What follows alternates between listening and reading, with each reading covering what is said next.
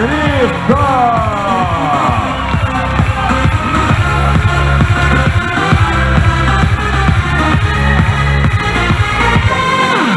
Лучший бомбардир в истории российского пляжного футбола номер шестой Дмитрий Шишин. 2-0. Кристалл.